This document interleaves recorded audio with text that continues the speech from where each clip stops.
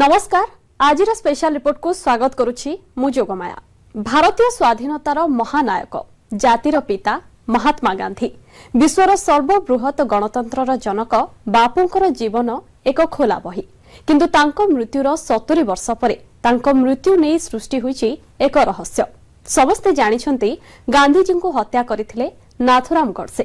ଗାନ୍ଧିଜୀଙ୍କୁ ତିନିଟି ଗୁଳି ମାରିଥିଲେ। କିନ୍ତୁ ଏବେ ଏହା ଉପରେ ଉଠିଛି ଆଉ କେତେକ ପ୍ରଶ୍ନ। ତାହା ହେଲା ତିନିଟି ନୁହେଁ ଗାନ୍ଧିଜୀଙ୍କ ଦେହରେ ବାଜିଥିଲା ଚାରିଟି ଗୁଳି। କେବଳ ନାଥୁରାମ ଗଡ଼ସେ ନୁହେଁ ଆଉ ଜଣେ ବି ଗାନ୍ଧିଜୀଙ୍କୁ ଚଳାଇଥିଲେ ଗୁଳି। ତେବେ ସେ ଲୋକ କିଏ? କୁହାଯାଉଛି ସତୁରୀ ବର୍ଷ ପରେ ଖୋଲିବ ମହାତ୍ମାଙ୍କ ମୃତ୍ୟୁ ରହସ୍ୟ।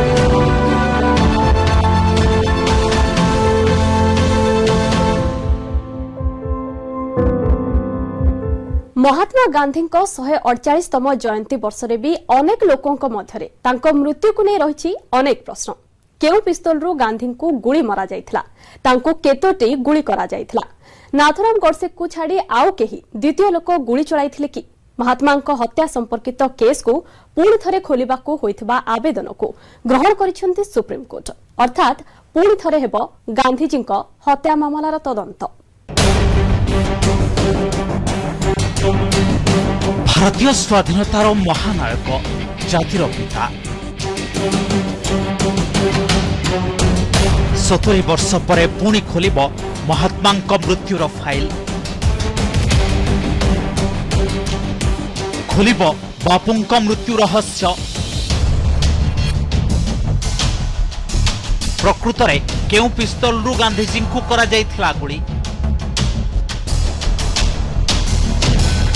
ତିନିଟି ନା ଚାରିଟି କେତୋଟି ଗୁଳି ବାଜିଥିଲା ଗାନ୍ଧିଜୀଙ୍କ ଦେହରେ। ଗାନ୍ଧିଜୀଙ୍କୁ ତିନିଟି ଗୁଳି ମାରିଥିଲେ ନାଥୁରାମ ଗଡ଼ସେ। ଯଦି ବିର୍ଲା ଭବନରେ ବାପୁଙ୍କ ଉପରକୁ ଚାଲିଥିଲା ଚାରିଟି ଗୁଳି ତେବେ ଗୁଳି ଚଳାଇଥିବା ସେ ଦ୍ୱିତୀୟ ବ୍ୟକ୍ତି କିଏ? ଏବେ ମିଳିବ ଏସବୁ ପ୍ରଶ୍ନର ଉତ୍ତର। ଗାନ୍ଧିଜୀଙ୍କ ମୃତ୍ୟୁର ପୁଣି ତଦନ୍ତ ଦାବିରେ ସର୍ବୋଚ୍ଚ ଅଦାଲତରେ ଆବେଦନ କରିଥିଲେ ବୀର ସାବରକରଙ୍କ ଜଣେ ଅନୁଗାମୀ ଡକ୍ଟର ପଙ୍କଜ ଫଡନିସ मैंने सुप्रीम कोर्ट में माननीय सुप्रीम कोर्ट में ये मांग की है कि महात्मा गांधी की जो अ, हत्या हुई उस हत्या के बारे में जो बड़ा षड्यंत्र है लार्जर कॉन्स्पिरसी उसकी जांच कराई जाए और उससे जुड़े जुड़े हुए तथ्य फिर से ढूंढ के निकाले जाएं सरकार ने भी 1965 में ये पाया कि 1948 में जो कुछ किया गया था वो पूरे था, पूरा नहीं था। इसीलिए उन्होंने कपूर कमीशन की गठन किया। तो ये तो सरकार भी मान चुकी है कि 1948 में पूरा नहीं हुआ। मेरा तो इतना कहना है कि कपूर कमीशन ने भी जो काम किया है वो अधूरा है उसको पूरा किया जाए। इतनी ही मांग है मेरी। अभिजोग करते सठिक तदंत कर तत्कालीन तदंत कमिशन। मामला को ग्रहण करने তদন্তরে কোর্টঙ্কু সহযোগ করা আইনজীবী অমরিন্দর সরিনকু আমিকস ক্যুরি নিযুক্ত করেছেন সুপ্রিমকোর্ট আবেদনরে মুনুবেন ডায়েরির লেখা বাবদে দর্শা যাই যে সেদিন বাবুঙ্ক সহ লে মুনুবেন ডায়েরিরে লেখিলে যে গান্ধী অন্তিম সংস্কার দিন প্রায় গোটায়ে সময় বাপুঙ্কু গাধোবা নিয়ে যাউথিলা তাঁর ধোতি সাল রুমাল ସବୁକିଛି ସମ୍ପୂର୍ଣ୍ଣ ଭାବେ ରକ୍ତରେ ଭିଜିଥିଲା। ଏହି ସମୟରେ ତାଙ୍କ ଲୁଗାରୁ ଏକ ଗୁଳି ବାହାରିଥିଲା।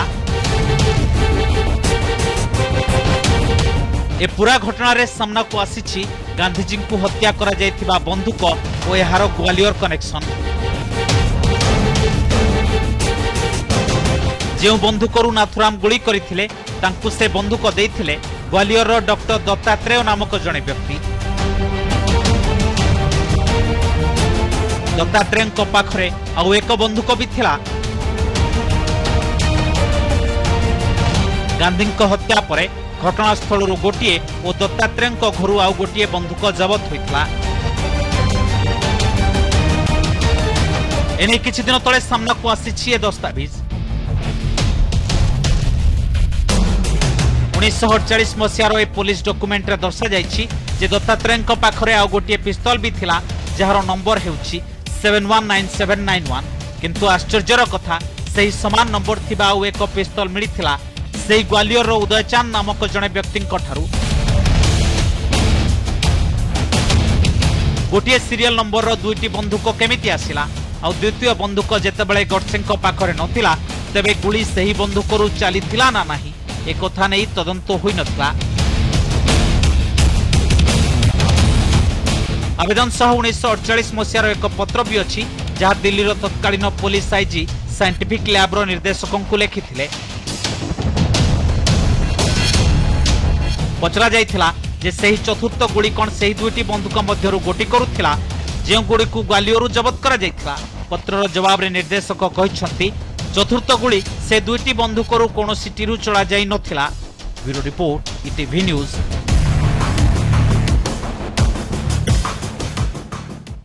ଗାନ୍ଧିଜୀଙ୍କ ହତ୍ୟାକାରୀର ପୂରା ନାଁ ନାଥୁରାମ ବିନାୟକ ଗଡ଼ସେ।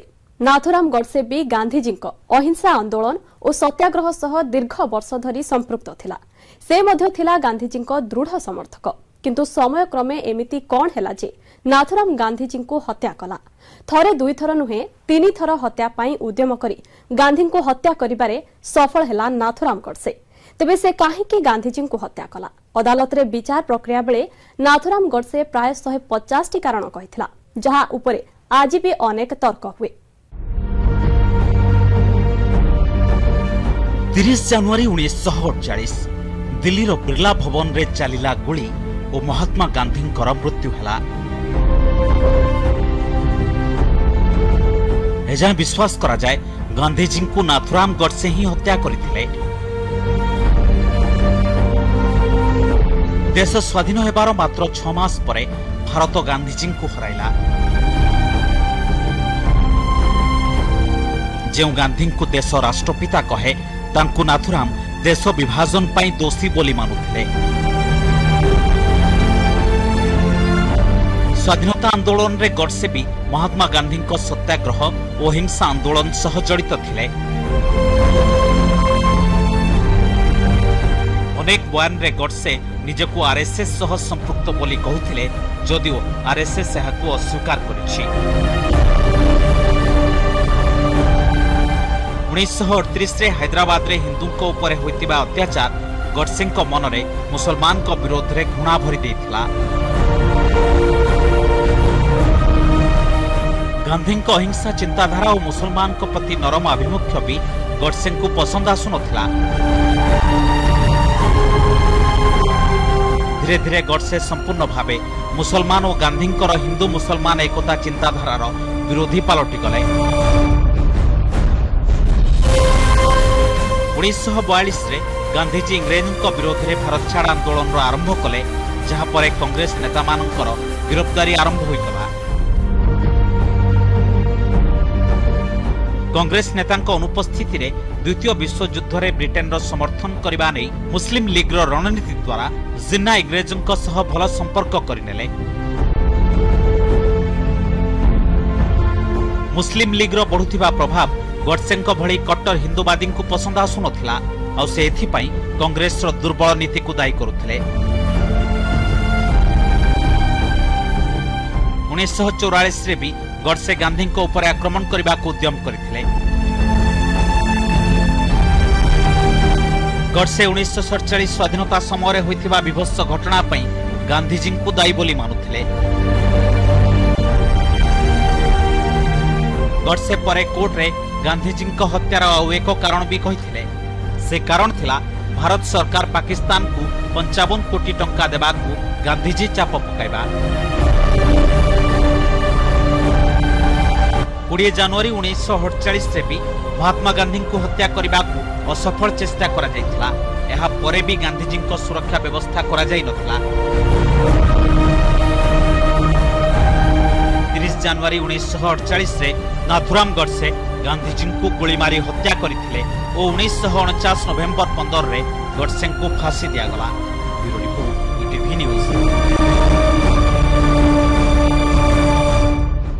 ସ୍ୱାଧୀନତାର ମହାନାୟକ ନେତାଜୀ ସୁଭାଷ ଚନ୍ଦ୍ର ବୋଷ। କ'ଣ ପ୍ରକୃତରେ ବିମାନ ଦୁର୍ଘଟଣାରେ ହୋଇଥିଲା ନେତାଜୀଙ୍କ ମୃତ୍ୟୁ?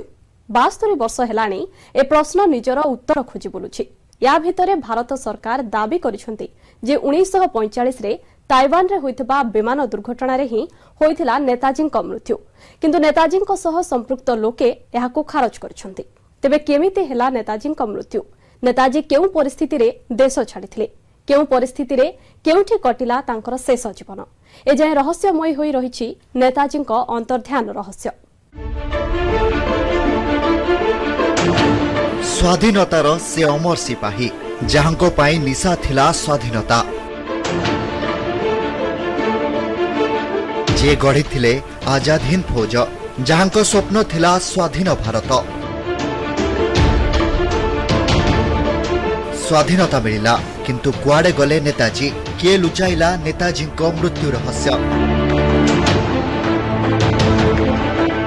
ଦେଶ ସ୍ୱାଧୀନ କିନ୍ତୁ କାହିଁକି ଏଯାଏଁ କଏଦ ହୋଇ ରହିଛି ନେତାଜୀଙ୍କ ମୃତ୍ୟୁର ସତ ପ୍ରକୃତରେ ନେତାଜୀଙ୍କ ମୃତ୍ୟୁର ରହସ୍ୟ କ'ଣ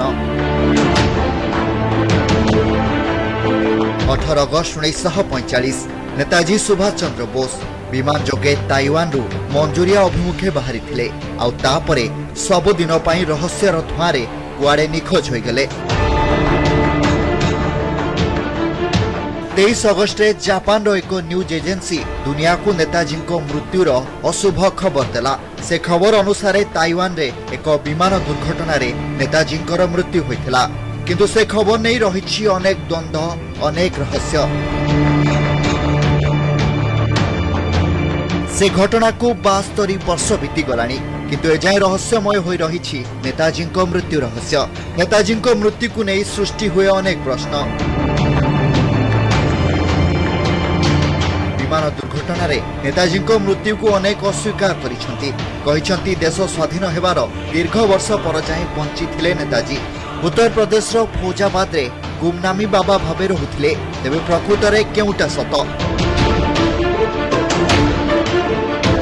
ଉଣେଇଶହ ପଇଁଚାଳିଶ ଅଗଷ୍ଟରେ ତାଇୱାନ ବିମାନ ଦୁର୍ଘଟଣାରେ ନେତାଜୀଙ୍କର ମୃତ୍ୟୁ ହୋଇଥିଲା କି? ଜାପାନର ରେଙ୍କୋଜି ମନ୍ଦିରରେ ଥିବା ସେ ଚିତାଭସ୍ମ ନେତାଜୀଙ୍କର କି? ଯଦି ତାଙ୍କର ମୃତ୍ୟୁ ହୋଇନଥିଲା ତେବେ ସେ ପ୍ରକୃତରେ ଭାରତକୁ ଫେରିଥିଲେ କି? ଯଦି ଆସିଥିଲେ ତେବେ କେଉଁଠି? କ'ଣ କରୁଥିଲେ? ନେତାଜୀଙ୍କ ସମ୍ପର୍କରେ ଶେଷ କଥା କେଉଁଟା? ଏସବୁ ଅସମାହିତ ପ୍ରଶ୍ନର ଉତ୍ତର ଖୋଜିବା ଲାଗି ଗଢ଼ା ହୋଇଛି ବିଭିନ୍ନ କମିଶନ। ନେତାଜୀଙ୍କ ମୃତ୍ୟୁ ଖବର ପ୍ରସାରିତ ହେବା ପରେ ସର୍ବପ୍ରଥମେ ତଦନ୍ତ ଆରମ୍ଭ କରିଥିଲା ବ୍ରିଟିଶ ସରକାର ଏ ସମ୍ପର୍କରେ ତଦନ୍ତ କରିବା ଲାଗି ଗୁଇନ୍ଦା ଅଧିକାରୀ ଜନ୍ ଫିଗେସଙ୍କୁ ଦାୟିତ୍ୱ ଦେଇଥିଲେ ଦକ୍ଷିଣ ପୂର୍ବ ଏସିଆର ସୁପ୍ରିମ କମାଣ୍ଡର ତତ୍କାଳୀନ ମୁଖ୍ୟ ମାଉଣ୍ଟ ବେଟେନ୍ ପଚିଶ ଜୁଲାଇ ଉଣେଇଶହ ଛୟାଳିଶରେ ଫିଗେସ୍ ଦାଖଲ କରିଥିଲେ ତାଙ୍କ ରିପୋର୍ଟ ରିପୋର୍ଟରେ କୁହାଯାଇଥିଲା ଅଗଷ୍ଟ ଅଠର ଉଣେଇଶହ ପଇଁଚାଳିଶରେ ତାଇହୋକୁ ବିମାନ ବନ୍ଦର ପାଖରେ ଗୋଟିଏ ବିମାନ ଦୁର୍ଘଟଣା ହୋଇଥିଲା। ଯେଉଁଥିରେ ଯାତ୍ରା କରୁଥିବା ନେତାଜୀ ସୁଭାଷ ଚନ୍ଦ୍ର ବୋଷ ଗୁରୁତର ଆହତ ହୋଇ ନିକଟ ମିଲିଟାରୀ ହସ୍ପିଟାଲରେ ପ୍ରାଣ ହରାଇଥିଲେ। ତାଙ୍କ ଚିତାଭସ୍ମ ଜାପାନକୁ ହସ୍ତାନ୍ତର କରାଯାଇଛି। ନେତାଜୀଙ୍କ ସମ୍ପର୍କରେ ସ୍ୱାଧୀନ ଭାରତର ସରକାର ଗଢ଼ିଥିବା ପ୍ରଥମ ତଦନ୍ତ ଥିଲା Shahnawaz commission. Committee Bharat, Japan, Thailand ও ভিয়েতনামর বিভিন্ন স্থান গস্ত করে তদন্ত করে তবে এই কমিটি মধ্য দর্শাই নেতাজী মৃত্যু তাইওয়ানর বিমান দুর্ঘটনার হয়েছিল কিন্তু কমিটির সদস্য থিবা সুরেশ চন্দ্র বোস এথিরে সহমত নহই কমিটির চূড়ান্ত রিপোর্টরে দস্তখত করে নথিলে ওলটা সে আনিলে সাংঘাতিক অভিযোগ সে কহিলে নেতাজীঙ্কর মৃত্যু হয়েছে বলে রিপোর্ট দেওয়া কমিটি উপরে চাপ পকাইলে তৎকালীন প্রধানমন্ত্রী ଜବାହରଲାଲ ନେହେରୁ। ଏପରିକି ତାଙ୍କ ଉପରେ ପଶ୍ଚିମବଙ୍ଗର ତତ୍କାଳୀନ ବିଧାନ ଚନ୍ଦ୍ର ରାୟ ମଧ୍ୟ ଏଥିଲାଗି ଚାପ ପକାଉଛନ୍ତି। ଏହାପରେ ଉଣେଇଶହ ସତୁରିରେ ଭାରତ ସରକାରଙ୍କ ଦ୍ୱାରା ଗଠିତ ଖୋସଲା କମିଶନ ରିପୋର୍ଟ ଦେଲେ। ନେତାଜୀଙ୍କ ମୃତ୍ୟୁ ବିମାନ ଦୁର୍ଘଟଣାରେ ହିଁ ହୋଇଥିଲା। ଏହାପରେ ଉଣେଇଶହ ଅନେଶତରେ ଅଦାଲତଙ୍କ ନିର୍ଦ୍ଦେଶ ଅନୁଯାୟୀ ଭାରତ ସରକାର ଗଠନ କଲେ ମୁଖାର୍ଜୀ କମିଶନ। ସୁପ୍ରିମକୋର୍ଟର ଅବସରପ୍ରାପ୍ତ ବିଚାରପତି ଏମ୍ କେ ମୁଖାର୍ଜୀ ଏ ସମ୍ପର୍କରେ ତଦନ୍ତ କରିବା ଲାଗି ଜାପାନ ତାଇୱାନ ଓ ରୁଷିଆ ଗସ୍ତ କଲେ। ତେବେ ବିମାନ ଦୁର୍ଘଟଣାରେ ମୃତ୍ୟୁ ନେଇ କୌଣସି ଠୋସ୍ ପ୍ରମାଣ ନାହିଁ ବୋଲି କମିଶନ କହିଲେ। କେବଳ ସେତିକି ନୁହେଁ କମିଶନ ପଦାକୁ ଆଣିଲେ ଚାଞ୍ଚଲ୍ୟକର ତଥ୍ୟ। ରିପୋର୍ଟରେ ଦର୍ଶାଇଲେ ନେତାଜୀ ରୁଷିଆକୁ ସୁରକ୍ଷିତ ଭାବେ ଖସିଯିବା ଲାଗି ଏକ ଗୁପ୍ତ ଯୋଜନା କରିଥିଲେ। ଏ ଯୋଜନା କାର୍ଯ୍ୟକାରୀ ହୋଇଥିଲା ନେତାଜୀଙ୍କ ସହଯୋଗୀ ତଥା ସହଯାତ୍ରୀ ହବିବୁର ରେହମାନ ଓ ଜାପାନର ଅଧିକାରୀଙ୍କ ସହଯୋଗରେ। ତାଛଡ଼ା ରେଙ୍କୋଜି ମନ୍ଦିରରେ ଥିବା ଚିତାଭସ୍ମ ନେତାଜୀଙ୍କର ନୁହେଁ ବରଂ ଜାପାନୀ ସୈନିକ ଇଚିରୋ ଓକୁରାଙ୍କର ବୋଲି କମିଶନ ତାଙ୍କ ରିପୋର୍ଟରେ ଦର୍ଶାଇଲେ। ନଭେମ୍ବର ଆଠ ଦୁଇହଜାର ପାଞ୍ଚରେ ଏହି ରିପୋର୍ଟ ଦାଖଲ କଲେ କମିଶନ। ସତର ମେ ଦୁଇହଜାର ଛଅରେ ଏହାକୁ ସଂସଦରେ ଉପସ୍ଥାପନ କରାଗଲା। କିନ୍ତୁ କୌଣସି କାରଣ ନ ଦର୍ଶାଇ କମିଶନ ରିପୋର୍ଟକୁ ସରକାର ପ୍ରତ୍ୟାଖ୍ୟାନ କଲେ। ନେତାଜୀଙ୍କ ସମ୍ପର୍କିତ ଗୁପ୍ତ ନଥିକୁ ସାର୍ବଜନୀନ କରିବା ଲାଗି ବାରମ୍ବାର ଦାବି ଉଠିଛି। ଏଥିରୁ କେତେକ ନଥିକୁ ନିକଟ ଅତୀତରେ କେନ୍ଦ୍ର ଓ ବିଭିନ୍ନ ରାଜ୍ୟ ସରକାର ସାର୍ବଜନୀନ କରିଛନ୍ତି। କିନ୍ତୁ ଏବେ ବି ଅନେକ ନଥିକୁ ସାର୍ବଜନୀନ କରିବା ଲାଗି ସରକାର ରାଜି ହୋଇନାହାନ୍ତି। ବ୍ୟୁରୋ ରିପୋର୍ଟ ଇଟିଭି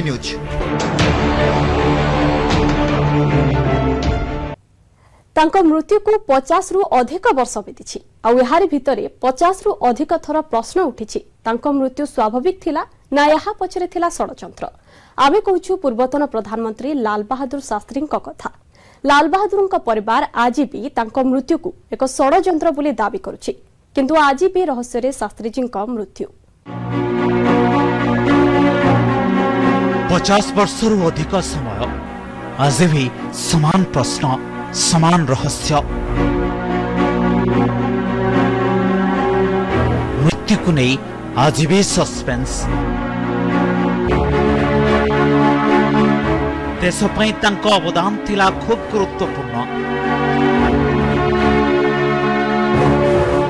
ଭାରତୀୟ ରାଜନୀତି ଓ ଶାସନ ବ୍ୟବସ୍ଥାର ଶୀର୍ଷରେ ପହଞ୍ଚିଥିଲେ ନିଆରା ଭାବମୂର୍ତ୍ତି ତାଙ୍କୁ ଅନ୍ୟ ନେତାଙ୍କଠୁ ଅଲଗା କରିଥିଲା ପାଞ୍ଚ ଦଶନ୍ଧିରୁ ଅଧିକ ସମୟ ବିତିଲାଣି କିନ୍ତୁ ଲାଲକିଲ୍ଲାରୁ ଲାଲ ବାହାଦୁରଙ୍କ ହୁଙ୍କାର ଆଜି ବି ପ୍ରତିଟି ଭାରତୀୟଙ୍କ ହୃଦୟକୁ ଆନ୍ଦୋଳିତ କରେ अगर तलवार की नोक पर या एटम बॉम्ब के डर से कोई हमारे देश को झुकाना चाहे दबाना चाहे ये देश हमारा दबने वाला नहीं तो एक सरकार के नाते हमारा क्या जवाब हो सकता है सिवाय इसके कि हम हथियारों का जवाब हथियारों से दें ଦଶ ଜାନୁଆରୀ ଉଣେଇଶହ ଛଅଷଠି ତାସ୍କେଣ୍ଟ ସୋଭିଏତ ୟୁନିୟନ ଡକାଇଥିଲା ଭାରତ ଓ ପାକିସ୍ତାନ ମଧ୍ୟରେ ଚୁକ୍ତି ପାଇଁ ବୈଠକ ରୁଷିଆର ପ୍ରଧାନମନ୍ତ୍ରୀଙ୍କ ମଧ୍ୟସ୍ଥତାରେ ଭାରତ ଓ ପାକିସ୍ତାନର ପ୍ରଧାନମନ୍ତ୍ରୀଙ୍କ ମଧ୍ୟରେ ବୈଠକ ହେବ କିନ୍ତୁ ପାକିସ୍ତାନ ସହ ଐତିହାସିକ ଚୁକ୍ତି ପରେ ଅସହଜ ମନେ କଲେ ଶାସ୍ତ୍ରୀଜୀ ଅସୁସ୍ଥ ଲାଗିବାରୁ ନିଜ ରୁମ୍କୁ ଆସିଲେ ତାଙ୍କ ଦେହ ଅଧିକ ଖରାପ ହେବାରୁ ସେ ନିଜ ବ୍ୟକ୍ତିଗତ ସଚିବଙ୍କ ରୁମ୍କୁ ଯାଇଥିଲେ କିନ୍ତୁ ସେ କିଛି କରିବା ପୂର୍ବରୁ ବହୁତ ଡେରି ହୋଇଯାଇଥିଲା ସେ ରାତିରେ କ'ଣ ହୋଇଥିଲା ସେ କଥା ଆଜି ବି ରହସ୍ୟ ଘେରରେ। କିନ୍ତୁ ପଚାଶ ବର୍ଷ ପରେ ବି ଶାସ୍ତ୍ରୀଙ୍କ ମୃତ୍ୟୁ ନେଇ କୋଟି କୋଟି ଭାରତୀୟଙ୍କ ମନରେ ରହିଛି ଅନେକ ପ୍ରଶ୍ନ। ପ୍ରକୃତରେ କ'ଣ ହୃଦ୍ଘାତରେ ହୋଇଥିଲା ଏ ମହାନାୟକଙ୍କ ମୃତ୍ୟୁ? ନା ଏହା ପଛରେ ଥିଲା ବଡ଼ ଷଡ଼ଯନ୍ତ୍ର? କେବଳ ତାଙ୍କ ପରିବାର ନୁହେଁ ପ୍ରଶ୍ନ କରେ ପୁରା ଦେଶ। ଆଉ ଏହା ପଛରେ କିଛି ଏଭଳି ପ୍ରଶ୍ନ ରହିଛି ଯାହା ସନ୍ଦେହକୁ ଅଧିକ ରହସ୍ୟଜନକ କରେ। କୁହାଗଲା ରୁଷରେ ହୃଦ୍ଘାତରେ ହୋଇଛି ଶାସ୍ତ୍ରୀଙ୍କ ମୃତ୍ୟୁ। ଯଦି ମୃତ୍ୟୁର କାରଣ ହୃଦ୍ଘାତ ତେବେ ତାଙ୍କ ଶରୀର ନୀଳ କାହିଁକି ପଡ଼ିଥିଲା?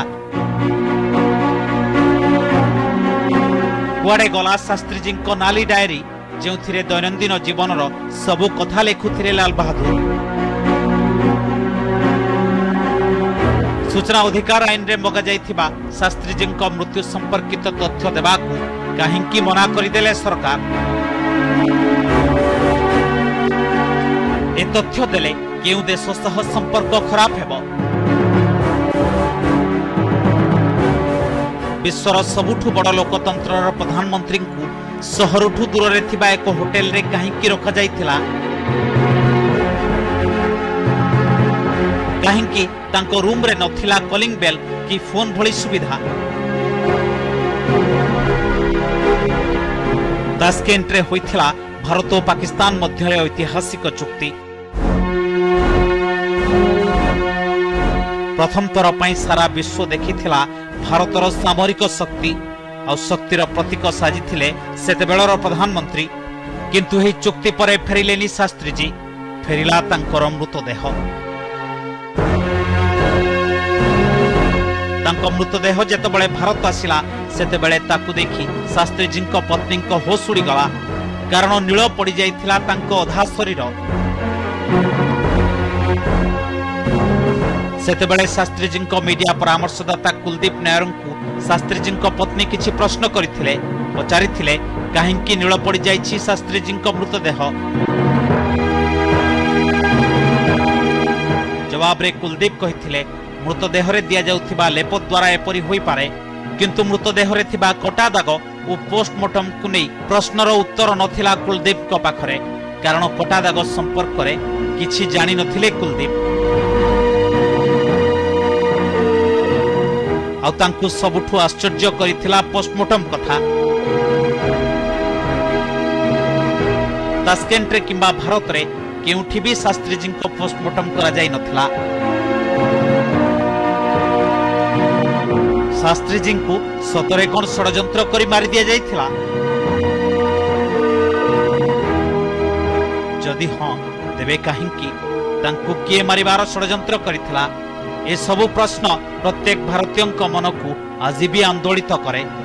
Report ETV news. ନେତାଜୀ ଓ ଶାସ୍ତ୍ରୀଜୀଙ୍କ ମୃତ୍ୟୁ ରହସ୍ୟ ଉପରୁ ଏଯାଏ ପରଦା ଉଠିନାହିଁ। ଏପଟେ ଗାନ୍ଧିଜୀଙ୍କ ମୃତ୍ୟୁକୁ ନେଇ ଖୋଲିବ ତଦନ୍ତର ଫାଇଲ। ଯାହାକୁ ଅପେକ୍ଷା କରିଛନ୍ତି ଦେଶବାସୀ। ଆଜି ତ ସମୟ ହୋଇଯାଇଛି ସ୍ପେଶାଲ ରିପୋର୍ଟକୁ ଏଇଠି ରଖୁଛୁ।